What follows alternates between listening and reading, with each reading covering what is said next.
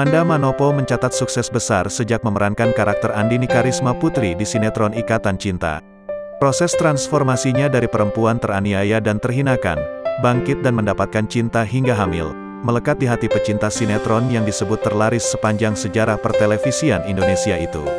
Tentunya apa yang ia raih tersebut membutuhkan pengorbanan dan totalitas untuk mendalami karakternya.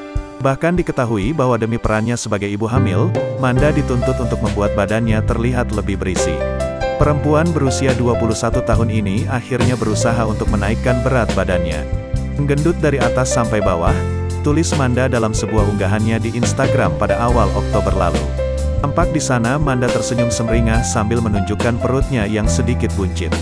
Lantas kini tampaknya Manda mulai merindukan badannya yang kurus seperti sedia kala. Hal itu ia ungkapkan lewat unggahan Instagram story-nya. Tampak di sana Manda mengunggah foto wajahnya dengan ekspresi lucu.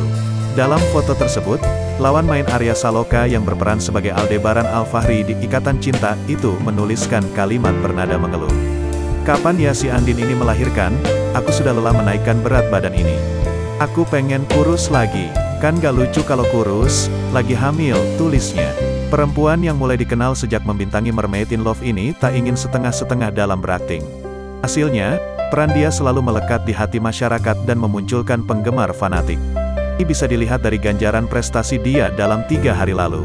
Seperti diketahui, belum lama ini pada Kamis, 21 per 10, Manda menjadi pemenang Asian Star Prize di Seoul International Drama Award 2021. Manda menang di ajang yang menempatkan Song Joong Ki dan Bae Suzy sebagai aktor dan aktris terbaik.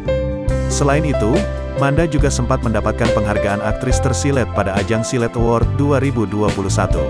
Untuk ajang ini, pasangannya di sinetron itu, Arya Saloka juga merebut aktor tersilet.